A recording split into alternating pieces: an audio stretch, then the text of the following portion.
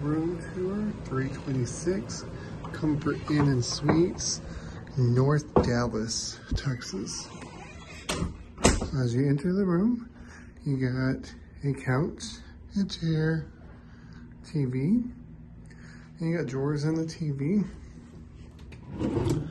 Nice sized drawers.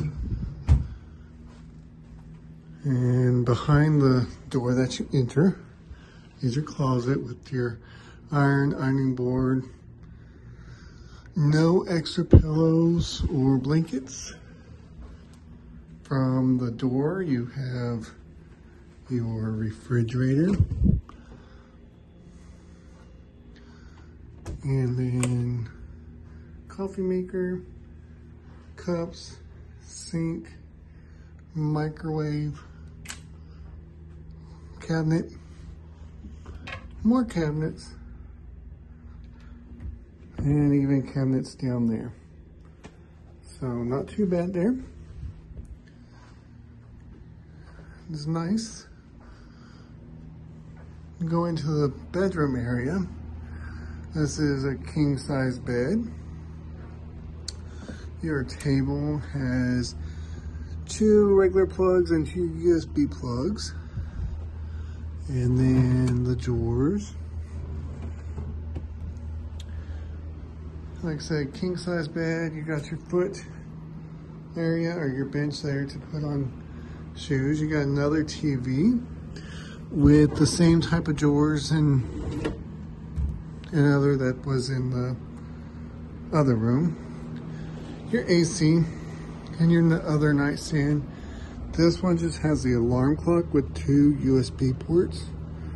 I don't see any plugs. And here is the view from the room. You have a jacuzzi tub here. And probably about two people can fit in there if you wanted.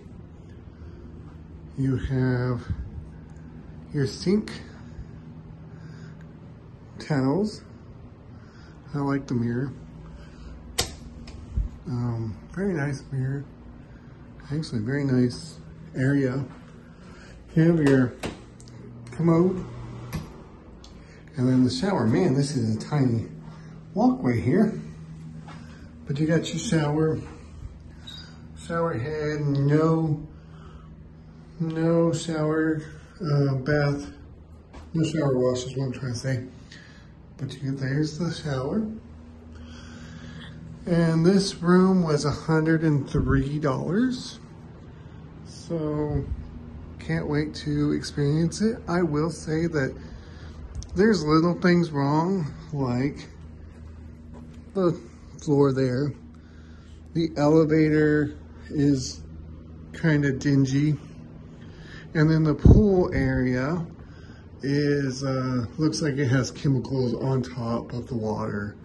So not taken care of. But this is an older hotel. So, I don't know. We'll see how it is when we finish staying here. I hope it's good.